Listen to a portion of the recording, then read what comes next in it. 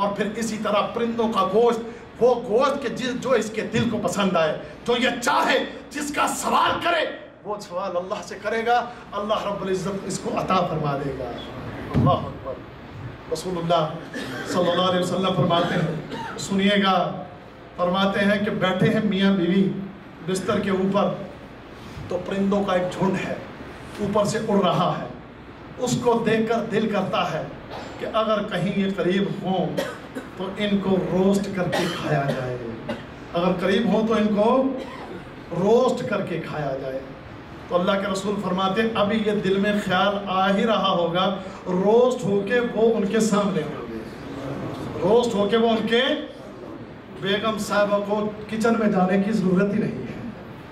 बेगम साहबा को दो तीन घंटे आग के सामने जलने सड़ने की किचन में ज़रूरत ही नहीं है।